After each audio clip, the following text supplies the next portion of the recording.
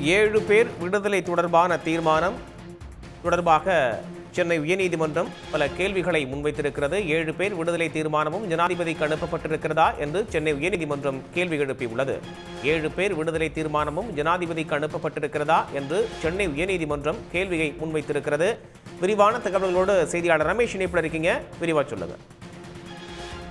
கொலை வழக்கில் ஆயுள் தண்டனை கைதிகளாக இருக்கக்கூடிய நரசிங்க முருகன் உள்ளிட்ட ஏழு பேரை விடுதலை செய்வது தொடர்பாக அமைச்சரவை தீர்மானம் நிறைவேற்றி அது கடந்த அதிமுக அரசு வந்து ஆளுநருக்கு அனுப்பி வைத்தது.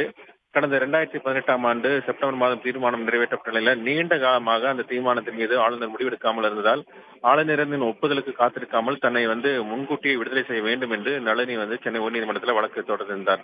இந்த வழக்கு தான் சென்னை உயர்நீதிமன்ற தலைமை நீதிபதி முனீஸ்வர்நாத் பண்டாரி நீதிபதி பரத் சக்கரவர்த்தி ஆகியோருடைய அமர்வு முன்பு இன்று மீண்டும் விசாரணைக்கு வந்தது. அப்போது மனுதாரர் சார்பில் ஆஜரான வழக்கறிஞர் ராதாகிருஷ்ணன் தமிழக வரலாற்றுல ஆளுநர் கடந்த நாற்பத்தி ரெண்டு மாதங்களுக்கு மேலாக ஒரு கோப்பை வந்து நிலுவையில் வைத்திருப்பதாகவும் உச்ச நீதிமன்றத்தினுடைய மாருராம் வழக்கின்படி முன்கூட்டியே விடுதலை செய்ய வேண்டும் என்றும் வாதிட்டார். அமைச்சரவையினுடைய முடிவை ஆளுநர் ஏற்றுக்கொள்ளதாக வேண்டும் என்று உச்சநீதிமன்றம் தீர்ப்பு வழங்கியுள்ளதையும் அவர் வந்து சுட்டிக்காட்டினார். அப்போது குறுக்கிட்ட தலைமை நீதிபதி ஆளுநருடைய ஒப்புதல் இல்லாமல் எப்படி விடுதலை செய்ய உத்தரவிட வேண்டும் என்று கேள்வி எழுப்பினார்.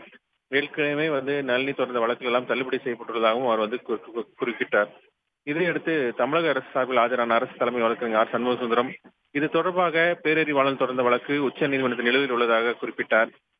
அப்போது குறுக்கிட்ட தலைமை நீதிபதி ஏழு பேரையும் விடுதலை செய்வதற்காக இரண்டாயிரத்தி பதினெட்டாம் ஆண்டுக்கான அந்த அமைச்சரவை பரிந்துரையை குடியரசுத் தலைவருக்கு ஆளுநர் அனுப்பி வைத்திருக்கிறாரா? அல்லது பேரறிவாளன் விடுதலை தொடர்பான விவகாரம் மட்டும் குடியரசுத் தலைவருக்கு அனுப்பப்பட்டதா என்பதை தமிழக அரசு தெரிவிக்குமாறு உத்தரவிட்டு அந்த வழக்கினுடைய விசாரணை ஒரு வாரம் ஒத்தி வைத்திருக்கிறார்கள். வழக்கின் விசாரணை ஒரு வார காலத்திற்கு ஒத்திவைக்கப்பட்டிருக்கிறது களத்தகவல்களுக்கு நன்றி ரமேஷ். உடனுக்குடன் செய்திகளை தெரிந்து கொள்ள சன் நியூஸ் பெல் ஐகானை கிளிக் பண்ணுங்க.